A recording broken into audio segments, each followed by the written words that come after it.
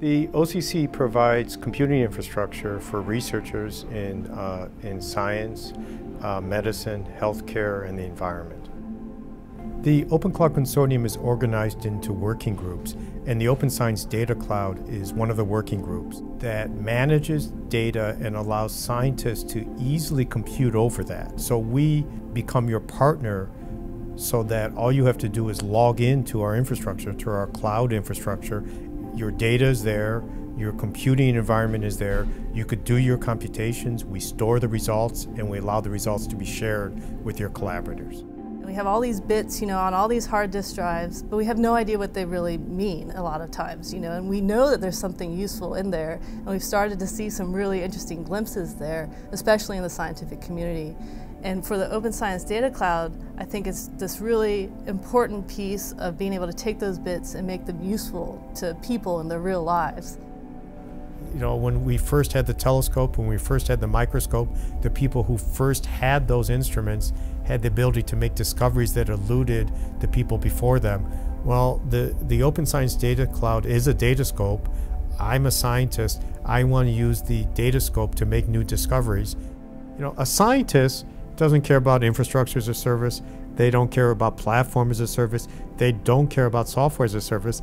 They care about doing their science. So if you could give them the things they need, the ability to manage data, the ability to make discoveries, the ability to sort of analyze it, the data easily, um, people in the community um, are sometimes calling that science as a service.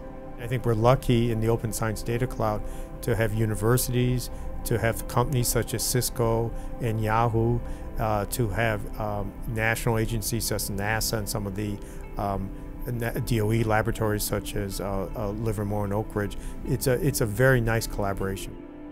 Generally, we work with, with projects. So let's say you're part of a project that um, is studying sort of the genomics of flies, or let's say you're a project that's looking at imagery um, from satellites that quickly adds up to hundreds of terabytes of data and um, that's too much for most most institutes to easily manage unless they have a, a, a large and specialized team to do that. So we provide that um, through the BioNimbus Cloud. So BioNimbus is an open science data cloud project that um, allows uh, people studying genomic data to upload, analyze, manage, and share large genomic data sets. So Project Matsu is a project where we take data from satellites and analyze that data, manage that data, share that data to look at questions both in earth sciences and also to do identification of phenomena such as fires and floods so that we could assist, um, uh, provide human-assisted disaster relief We try to get undergraduates and graduates and early career scientists um, to learn about big data.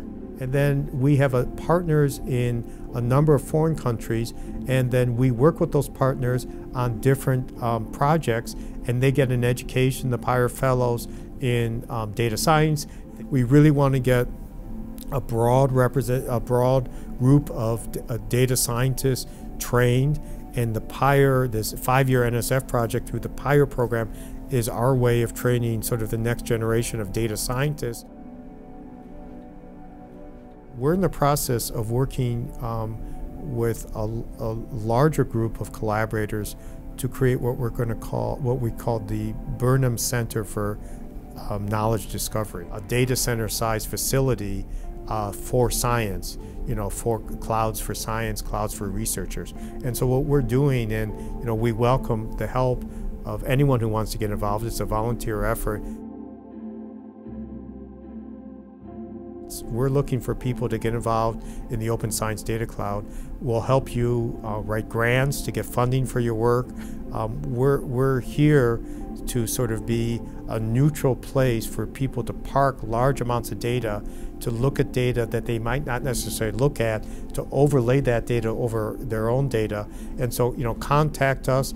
You know, we want to get you involved. Um, this is a great time to do data science. It's a great time to do data engineering. And, you know, I would ask you the question, why aren't you involved?